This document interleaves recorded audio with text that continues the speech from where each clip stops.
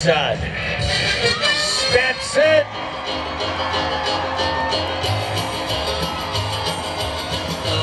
Oh man. Lady Vain. He is a 21 year old stud and he doesn't scare to nothing, man. Yes, sir. Oh, he'll be back. He'll be back in just a little bit. For now, Hey. we are adding things up. We are watching the replay.